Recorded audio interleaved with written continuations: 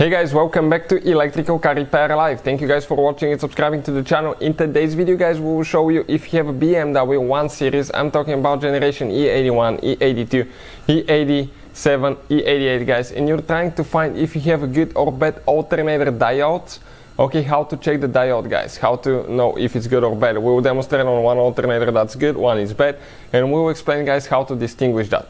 Now we'll demonstrate on 6 cylinder engine, but even if you have a 4 cylinder, 6 cylinder gasoline, diesel engines, the procedure is practically the same. Uh, quick introduction to the channel guys, every single car we get at the shop we make at least 200 free repair videos, specifically on BMWs we make more than five, 500 videos in most cases guys. Why we do all that? Simply because our mission at the shop is to save you as much money as we can. All we need in return, please subscribe to the channel and like the video guys so we can keep providing that free information. Now, uh, if you guys need to buy the tester that we'll be using, any parts, tools or new alternator, check out the link. It will be shared in the description of the video below for your convenience. So, specifically, as I said, we have one alternator that's good and one that's bad. So we'll demonstrate what the good look, uh, what the good alternator looks like and the bad one after that as well. Step number one, guys, disconnect the car battery of your BMW 1 Series.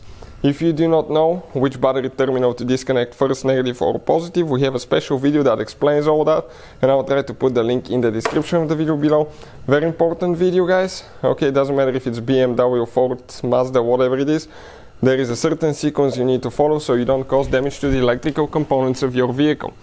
After you do that, you need to find where the 12 volt charging wire from the alternator goes to the battery, disconnect that wire. In our case, for that alternator, it's the one right here we removed it. Now, this is the other alternator. The charging wire is actually on the back side on that good one, but it's the same design, guys. Now, let's explain, guys, how we're going to test it. This is, guys, the voltmeter.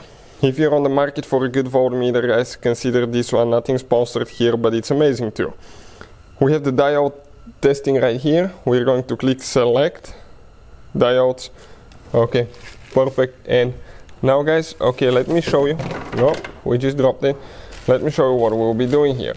First, let's put the black lead, okay, on the ground, on the ground, the casing, red lead on the charging wire. And you should get no reading, guys.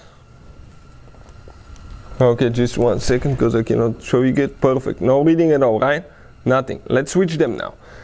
Black lead on the charging wire, red lead on the casing. We should get a reading between 5 and 800 for a good alternator. And that's what we do. Amazing. Now, let's guys test the one that's bad. So, now guys, red on casing, black on, okay, on the charging wire, and what do we get? 568, amazing. Now if we reverse them, check it out, we have a problem guys. What's the problem? We should get no reading, remember? And in our case, okay, let's give it a little bit of a scratch, okay, perfect. We get a reading guys. So definitely guys a bad diode right there. You shouldn't get reading on one side and you should get only on the other side. So hopefully guys you get the idea. When you put the uh, red lead on the charging wire black on casing you should get no reading. And when you reverse them you should get between 5 and 800 so hopefully guys the video will be helpful. Thank you for watching guys. Please subscribe to the channel for more help and see you guys next time